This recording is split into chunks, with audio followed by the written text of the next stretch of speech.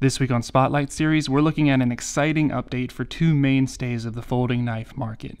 This is the Cold Steel Voyager and Recon 1.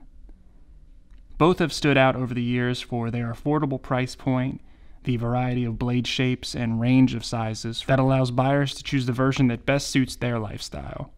And now that their new models feature USA made Carpenter steel, there's just one more reason to love them. The Voyager series features Carpenter CTS BD1 alloy steel blades, which offer a good level of edge retention because of their high carbon content. The Grivex handles are textured and comfortable. I especially like the way my fingers sit on the curved heel of the large version. The triad lock mechanism feels extremely solid as always.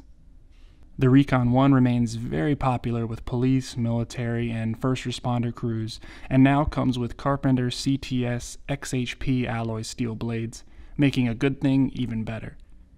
The handles are super ergonomic and tactile G10 scales, and it has the same triad lock as the Voyager. Out of the two, I'm partial to the Recon simply because of its G10 scales and slightly slimmer profile.